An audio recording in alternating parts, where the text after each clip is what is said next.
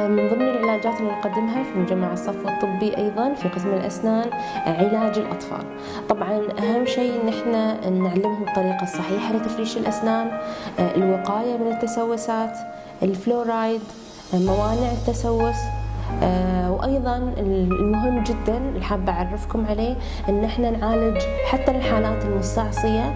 بعض الحالات كانت تتعالج لمدة سنة وسنتين وثلاثة لازم لازم يدخلونهم عمليات عشان يقدرون يعالجون أسنانهم. الحمد لله بطرقنا الخاصة والمدروسة قدرنا إحنا نعالجهم ويستمرون معنا في في العلاج لمدة أكثر من سنتين. وبكل بساطة وكأنهم أصدقائنا وراح الخوف نهائيا من عندهم. أتمنى أنكم تزورونا داخل مجمع الصفوه الطبي. قسم الأسنان معكم دكتورة حنان غيث